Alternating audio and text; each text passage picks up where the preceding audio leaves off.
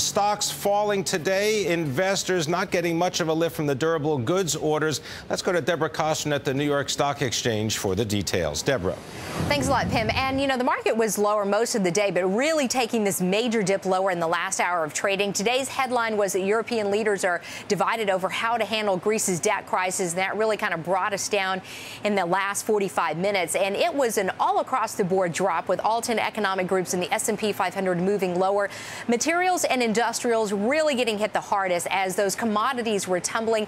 And once again, we are focused on the metals, in particular copper. Copper was down as much as 5% today. And many people kind of look at copper as a gauge of the economy because it has so many industrial uses. And uh, copper certainly, uh, you know, the storm in copper has certainly been around for the past week because uh, copper is, was down 26% uh, over the three days uh, before yesterday, Pimm.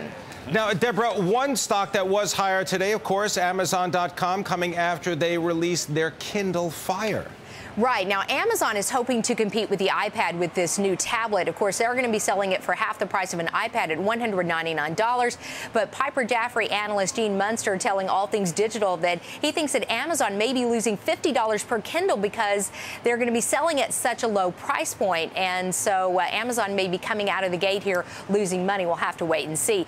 Some other news that came out after the close of trading AMD cutting their forecast for their third quarter revenue. Remember, AMD is number two in the PC microprocessing market, and that really could be saying something about PC demand as uh, they are cutting their revenue. And you can see that the stock really kind of tumbling here in the extended trading session. Pimm, back to you. Thank you very much, Deborah Kostroun, reporting from the New York Stock Exchange.